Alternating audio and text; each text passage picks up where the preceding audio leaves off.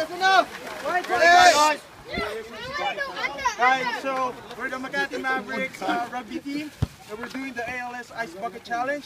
And we're challenging Um, we're challenging the other clubs in the Philippines like Eagles, Nomads, Red Immortals, Cagayan de Oro, Davao Durians, Cebu Dragons to do the same. Take it! One, two,